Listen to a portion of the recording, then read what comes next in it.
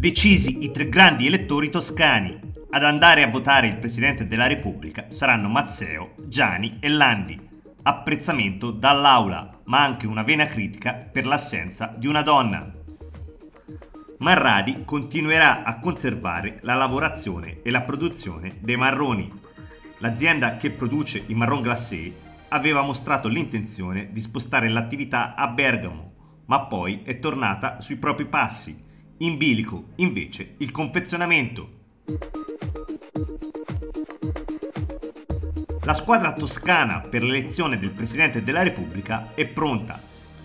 il Consiglio regionale ha votato i tre grandi elettori che da lunedì saranno impegnati a Roma per la nomina del nuovo capo dello Stato.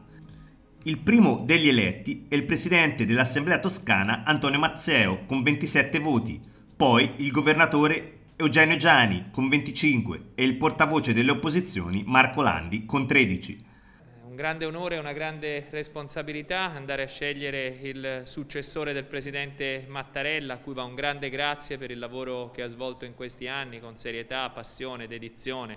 il compito che avremo non sarà semplice, trovare una figura che abbia la sua stessa capacità di saper essere garante della Costituzione, di saper rappresentare le cittadine e i cittadini italiani, un alto profilo istituzionale e anche quelle qualità e quelle doti morali che sono fondamentali per fare il Presidente della Repubblica.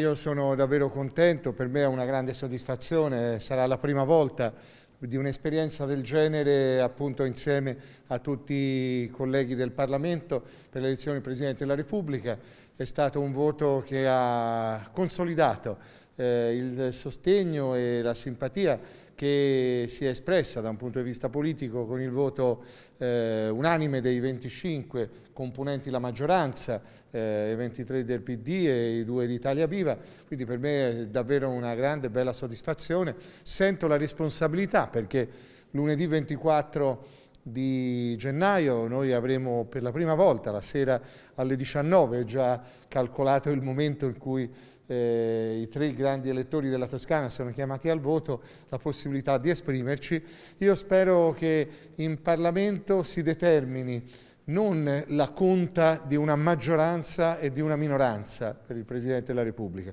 ma si riesca a trovare la convergenza su un nome che vada in senso istituzionale a rappresentare, come dice la Costituzione, l'unità del Paese e conseguentemente possa raccogliere un consenso così ampio da vedere intorno a questa figura il senso di riconoscimento di tutte le nostre istituzioni e dei rappresentanti che sono chiamati al voto nel ruolo e di parlamentari o di grande elettore.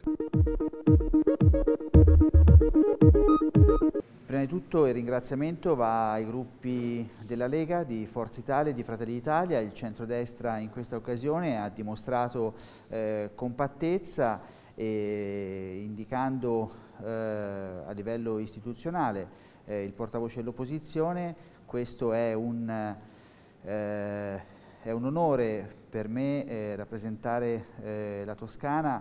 ma anche eh, venendo eh, dall'isola d'Elba eh, tutte eh, le zone periferiche eh, della nostra regione e anche tutte le isole minori d'Italia.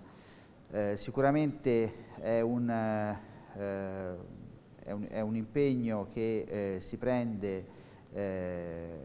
con, con lo spirito più alto che l'elezione di un Presidente della Repubblica deve avere e quindi eh, cercherò di eh, portare avanti il mandato che mi è stato dato eh, nella maniera eh, migliore e eh, più alta possibile. La votazione ha trovato il pieno appoggio sia di Vincenzo Ceccarelli, capogruppo del PD, che di Stefano Scaramelli, capogruppo di Italia Viva. Siamo soddisfatti perché la votazione è stata una votazione molto corretta, molto leale, sono state rispettate direi proprio quelle che sono state le proposte fatte. Noi come maggioranza abbiamo proposto come grandi elettori per la Toscana i due massimi livelli istituzionali, il Presidente della Giunta e il Presidente del Consiglio. Questa è una consuetudine, ma siamo convinti anche di aver fatto una proposta di alto profilo che è stata apprezzata da tutto il Consiglio, tant'è vero che la votazione è stata veramente molto compatta. L'auspicio ora è che ai tre eh, che sono stati eletti come grandi elettori del prossimo Presidente della Repubblica sia riservato la possibilità di eleggere un Presidente che sia il degno successore del Presidente Sergio Mattarella, che io ho colto l'occasione per ringraziare per il modo, l'autorevolezza, il prestigio con il quale ha rappresentato l'Italia in questi sette anni. Ecco, le difficoltà che stiamo attraversando in Italia, in Europa e nel mondo hanno bisogno di un prossimo Presidente che sia il degno erede di Sergio eh, Mattarella e quindi l'auspicio che ci sia in Parlamento la capacità di individuare una figura che sia il garante dell'unità na nazionale e del prestigio dell'Italia eh, in Europa e nel mondo. La Regione Toscana ha eletto i propri delegati alle elezioni del Presidente della Repubblica e credo la notizia più importante è che si siano individuate le figure di carattere istituzionali sia nella maggioranza che nella minoranza a noi ha trovato pienamente convinti questa soluzione nel sostenere il Presidente della Giunta Eugenio Giani, il Presidente del Consiglio regionale Antonio Mazzeo e a rappresentare la minoranza sarà Marco Landi, rappresentante e portavoce delle opposizioni. Credo che sia stata un'elezione corretta nel rispetto dei singoli ruoli, quindi tre figure che avranno l'onere e l'onore di rappresentare la Regione Toscana, tutti i propri elettori e la Toscana sarà partecipe di un'elezione a mio avviso di un Presidente della Repubblica che possa essere, come abbiamo chiesto in aula, europeista, garante delle istituzioni, garante dell'unità nazionale, ma soprattutto una persona in grado di respingere i tentativi e le pressioni del populismo come quelle del sovranismo. Una grande figura istituzionale e abbiamo piena fiducia e diamo mandato quindi ai tre grandi elettori della Regione Toscana di rappresentare tutti noi come Consiglio regionale per conto nostro, tutti gli elettori della Regione Toscana. Apprezzamento è stato espresso anche da Francesco Torzelli, capogruppo di Fratelli d'Italia, che ha sottolineato la condivisione nel centrodestra sul nome di Landi.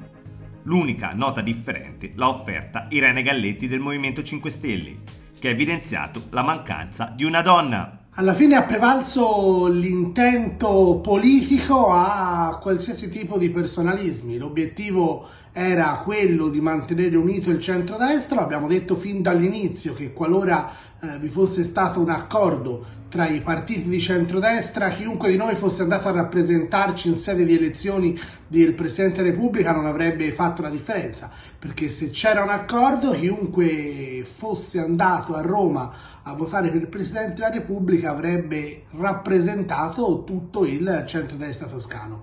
Così è stato, i partiti a livello nazionale hanno trovato eh, un accordo, come era giusto e logico che fosse, l'unità del centrodestra a discapito di chi magari aveva pensato di potersi incuneare con qualche strategia strana in spaccature inesistenti, alla fine il centrodestra ha dimostrato ancora una volta di anteporre l'interesse politico all'interesse personale e il voto a Marco Landi ha testimoniato questo. Quindi un grande in bocca al lupo a Marco e che rappresenterà sicuramente tutto il centro-destra toscano in sede di elezione del Presidente della Repubblica.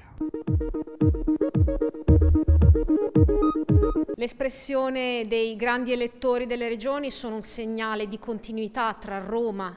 e il territorio, e l'intero suo territorio che i padri costituenti hanno voluto consegnarci, con l'impegno di garantire la rappresentatività, che è un fattore fondamentale, qualcosa che la nostra Costituzione sottolinea in ogni suo passaggio, e oltre alla rappresentatività è anche quella dell'inclusione. E in questo passaggio eh, c'è da dire che noi abbiamo, come Movimento 5 Stelle, abbiamo voluto dare indicazione al Presidente del Consiglio, Antonio Mazzeo, di rappresentare politicamente tutte le forze che sono espresse all'interno dell'arco consiliare, consegnando a lui questa fiducia e dall'altra parte ci sarebbe piaciuto vedere eh, anche l'espressione della totalità di quelle che sono eh, i cittadini toscani e questa totalità riguarda per la metà donne, donne che fra i tre rappresentanti che andranno a eleggere il Presidente della Repubblica non sono espresse. E questo dispiace perché tutti i gruppi politici si riempiono spesso la bocca, mi viene da dire, con parole riguardo la parità di genere, l'inclusione, rappresentatività, però poi arrivano le azioni concrete e ci troviamo di fronte a questi numeri che più volte nel corso di questo anno già sono stati anche denunciati dalla Commissione Pari Opportunità. Molte nomine, la maggior parte sono, degli, sono uomini, pochissime donne.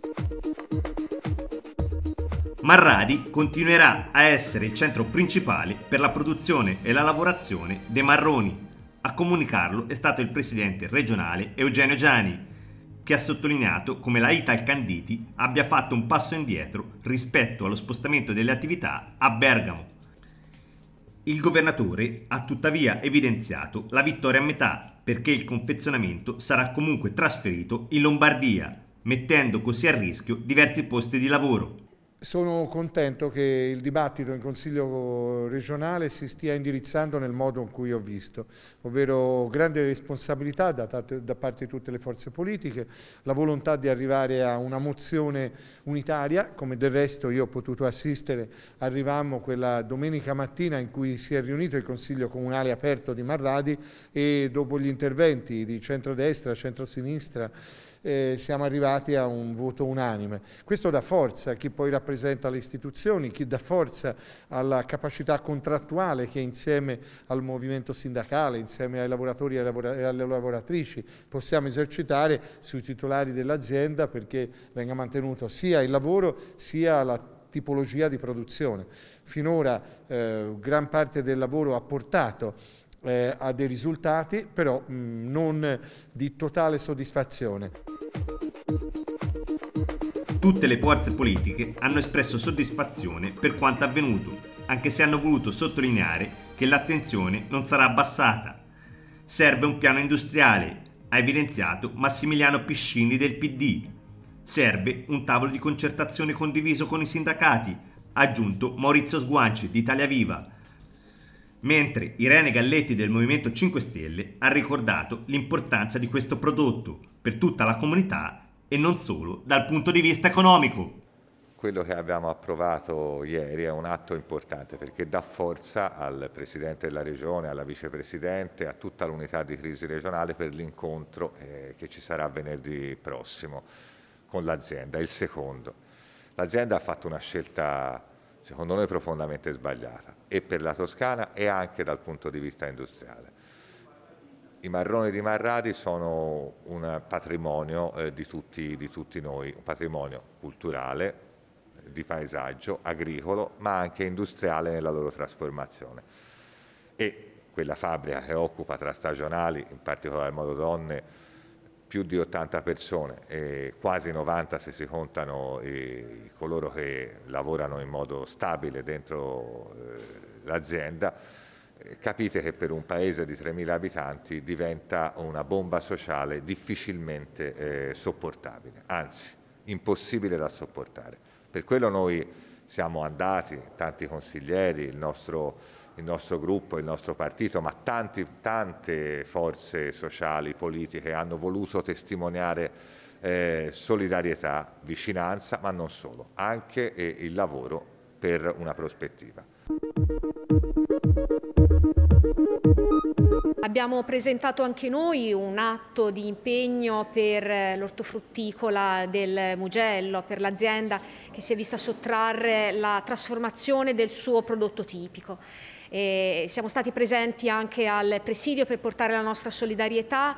e quello che abbiamo trovato è stata una scena eh, commovente, un'intera comunità e il suo sindaco riuniti intorno a delle famiglie, perché qui si tratta di famiglie intere eh, che lavorano a quella che è la loro tradizione, il loro orgoglio e che è quello che ha permesso anche loro per molti anni di portare a casa una fetta importante dello stipendio. Lo voglio ricordare, sono soprattutto molte donne che lavorano in questa azienda, stagionali e il fatto di essere all'improvviso e in circostanze simili, eh, diciamo, essere messi a conoscenza di questa notizia è stato qualcosa che ha sconvolto non soltanto la comunità di Marradi ma tutta la Toscana, una forma di delocalizzazione sui generis che però non possiamo accettare. Per questo anche noi abbiamo aderito poi all'atto che tutti quanti i gruppi hanno sottoscritto per rinnovare l'impegno a sedersi al tavolo con la proprietà e convincere non soltanto a non chiudere l'azienda, ma anche a lasciare lì la produzione, la trasformazione del prodotto che viene raccolto proprio in quelle zone. Abbiamo avuto il piacere di udire il governatore per quello che riguarda la crisi che riguarda Marradi, per l'azienda, per l'ortofrutticola di Marradi, che ci ha detto che ci sono stati degli sviluppi positivi. A noi risultava in realtà che gli sviluppi positivi fossero sviluppi al 50%. L'azienda resta, ma il 50% dei lavoratori stagionali sarebbero comunque andati a casa, così come il 50% dei 10 lavoratori a tempo indeterminato. Già questo noi riteniamo sia inaccettabile, in quanto mandare a casa 55 famiglie in una realtà di confine come è Marradi, voglio ricordare a tutti che Marradi è l'ultimo comune toscano prima della Romagna, che ha un tessuto economico estremamente fragile, vuol dire mettere in difficoltà tante persone in un comune così piccolo. Anche per quello che riguarda poi il mantenimento del lavoro.